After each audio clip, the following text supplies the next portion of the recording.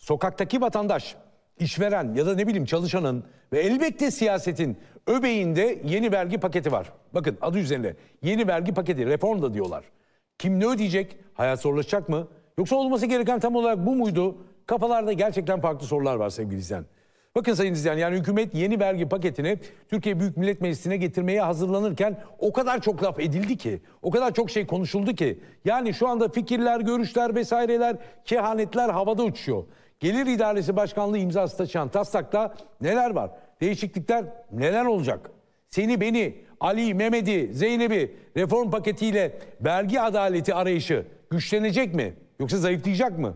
Bunu bizim yerimize bırakalım. Uzmanı konuşsun. Başımıza geleceği de az çok bilelim. Karşımda vergi uzmanı Sayın Doktor Nedim Türkmen var. Sayın Türkmen iyi akşamlar diliyorum size.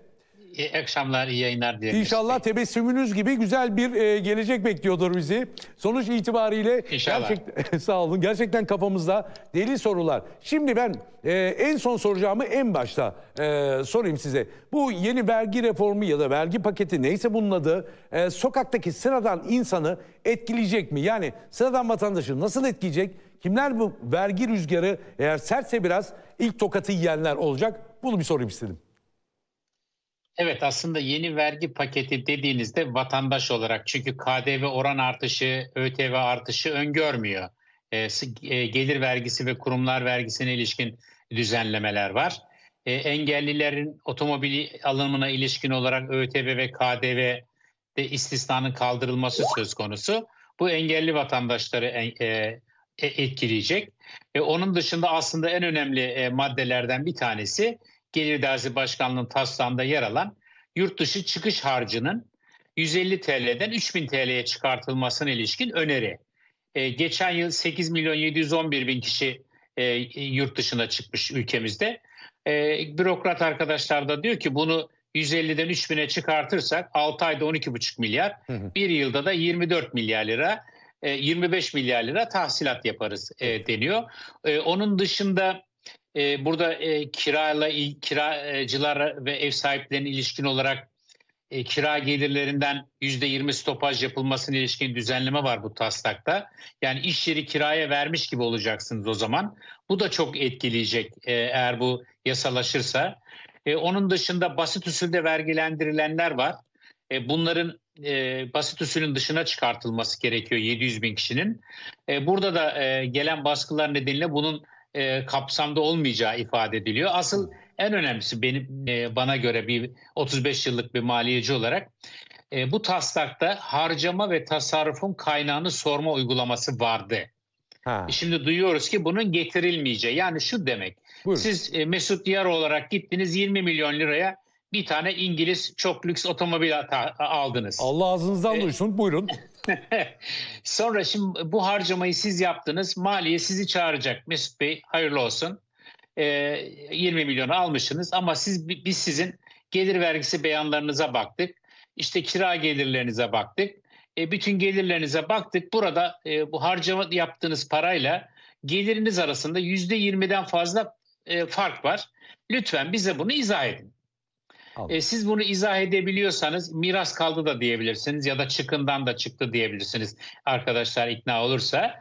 E, ve e, buradan harcama ve tasarruftan hareketle geliri kavrama ve vergilendirme e, konusu e, gündeme getirilmişti ve burada da mükellef hesap kartı uygulaması da getirilecekti. Şimdi bunu uygulanmayacağı söyleniyor. Yani Türkiye'de eğer bir vergi reformu olacaksa bu e, harcama ve tasarrufun kaynağı sorulmazsa e, Türkiye'de hiçbir şey değişmez. Evet. Yine e, çok fazla harcama yaparsınız e, ama mali vergi dairesinin önünden geçmezsiniz. Kimse de size devlette hiçbir kurum bu parayı nasıl kazandın, vergisini ödedin mi, nasıl harcıyorsun sorusunun sorulamadığı bir ülke olamaz.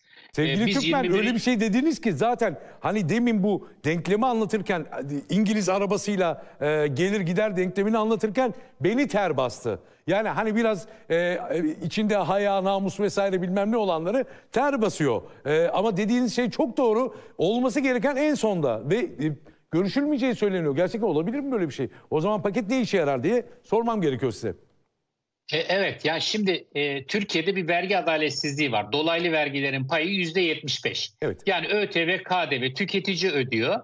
Burada da mali durum gözetilmiyor. Yani öğrenci de aynı KDV'yi ödüyor. Milyoner olan insan da. E, burada ne yapmamız lazım? Gelir ve kurumlar vergisinin payını artırmamız lazım.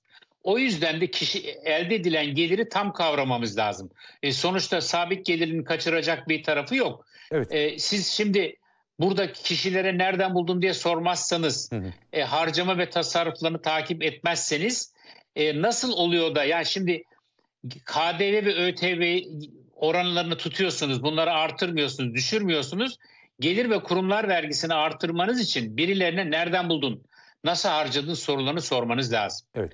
Ve bu kişilerin harcamalarından har- ha- harcamalarını bir tarafa yazıp sonra gelirlerine bakıp onları çağırmanız gerekir. Bunlar yok. Yok efendim e, garsonun yüzde onu yok kuryeyi e, kuryeleri vergi içine almak gibi e, konudan uzaklaşıyoruz. Bize başka şeyleri tartıştırıyorlar. Anladım. Türkiye'de gerçek anlamda bir vergi reformu yapabilmek için parayı takip eden bir sistem kurmak gerekiyor. Evet. Biz malı takip ediyoruz, parayı takip etmiyoruz. Aslında biliyorsunuz ki parayı takip ettiğinizde suçluya ulaşıyorsunuz. Yani Evet. bir, bir, bir gelir elde ediyorsanız bu para olarak bir yerlerde olacak. Bu eve dönüşecek, arabaya dönüşecek, hisse senedine dönüşecek. Bunları kavramadan sizin yapacağınız her şey bomboş olacaktır. Hı hı. Ve burada da yine dar gelirli, sabit gelirli insanlar vergi yükünü taşımaya devam edecek. Şöyle bir şey Bakın- olabilir mi Sayın Türkmen? Şöyle Evet. bir şey olabilir mi? Aslında bir şey söyleyeyim. Güzel bir şey dediniz. Hani bir yandan e, işte e, harç pulu bir yandan bahşiş bir yandan e, işte kuryelere getirilecek vesaire konuşulurken yani hakikaten çok sağlam 90'dan devlet bu demin söylediğiniz nereden buldun kardeşim golünü atabilir mi? Ya ben bu iktidarın yapısına göre e, bunu olabileceğini tahmin etmiyorum. İktidarı düşürürlerdi. Bu ben bununla ilgili yazı da yazdım. Ya bu çok güzel bir şey. Bürokratlar çok güzel düşünmüşler. E, ama bu bunun geleceğini tahmin etmiyorum. E, bakın Türkiye'de geçen sene 4,5 trilyon vergi tahsilatı yapıldı Mesut Bey. 2020 yılının tamamında 833 milyar lira vergi tahsilatı yaptık. Bu yılın Mayıs ayında tek bir ayda 898 milyar lira vergi ödedik. Bununla da bitmiyor. 2022 yılının tamamında ödediğimiz vergiyi 2024'ün ilk 5 ayında daha fazlasını ödedik. Vergi fışkırıyor. Ee, sürekli olarak vergi rekorları kırıyoruz ama harcamalara yetişemiyoruz. Devletin harcadığı her 100 liranın 30 lirası personel maaşına gidiyor. Hmm. 40 lirası cari harcamalara gidiyor. Hı. 15 lirası da 12 ile 15 lirası da faiz giderine e, harcanıyor. Yani dolayısıyla ya şimdi tasarruf dedik. E, tasarruf edilecek kalemlere bakıyoruz. Mayıs ayı, e, Nisan ayına göre Mayıs ayında 4 kat 5 kat artmış. Yani inadına bize de mi tasarruf diyor bürokratlar öyle anlıyorum ben. Anladım. E, Hmm. Buradan da bir sonuç alamıyoruz. E, dolayısıyla biz bu bu senede 7.4 trilyon vergi tahsilatı yapacağız. E, bunu kim ödüyor? Tüketiciler ödüyor. Evet. E, şimdi gelirleri de artıramıyoruz. Asgari ücret artmadığı ve emekli maaşları çok düşük kaldığı için. Hı hı. E, Türkiye'de gerçek anlamda bir e, e, vergi reformu yapmanın formülü bellidir. Hı hı. E, bunu yaptığımızda da e, memlekette gerçekten vergi adaletinden, vergiye gönüllü uyumdan, e, mali güce göre vergi alınmasından o zaman bahsedebiliriz. Hocam zenginler sevmiyor mu vergi vermeyi? Ben hani böyle düz konuşuyorum biraz ama kusura bakmayın. Şimdi şöyle e, vergi aslında e, devletin gücüyle zorla alınan yani bağırta bağırta alınan bir e, e, değer. Evet. E, siz şimdi iki yılda bir af çıkartırsanız vergiden kaçınma ve kaçırma yollarını açık tutarsanız e, kimse vergiyi ödemez. Hı. E, bizim üniversitede arkadaşlar araştırma yapmışlar. Vergi oranı yüzde kaç olursa vergi ödersin diye. Bizim mükelleflerin yüzde doksanı diyor ki yüzde beş olursa öderim. Ya sadaka gibi bakıyor. Anladım. E, dolayısıyla devlet e, ülkesi üzerindeki egemenlik hakkına dayanarak kamu giderlerini karşılamak üzere kim kazanç elde ediyorsa ondan vergi almak durumunda. E, onlardan almayıp tüketiciyi her aşamada vergilendirdiğiniz zaman da böyle adaletsiz bir vergi sistemi ortaya çıkıyor maalesef.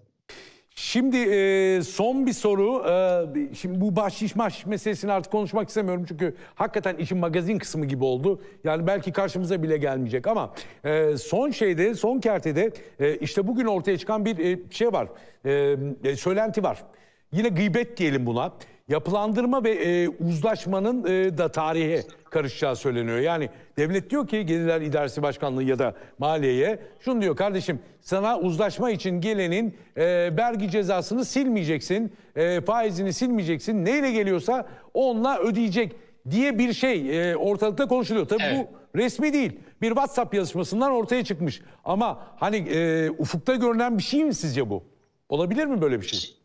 E, o- o- olmuş ben de inanamamıştım. E, baktım bir, e, bir bakan yardımcısı e, defterdarları ve vergi dairesi başkanları bir WhatsApp mesajı olarak bunu göndermiş. Ben de e, okudum.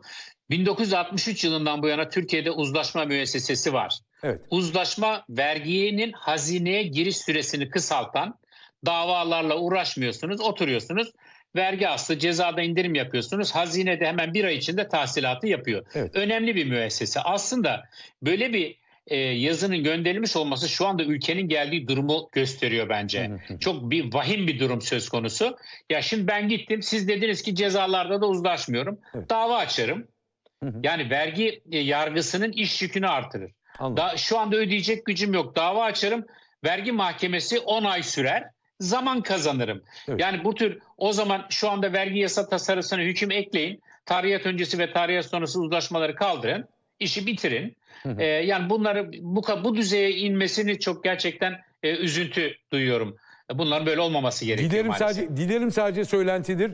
Ee, tabii biz sizinle en net e, belge gerçekten bir taslak olarak çıkıp e, meclise geldiğinde en azından gerçek metinler üzerinden konuşuyor olacağız.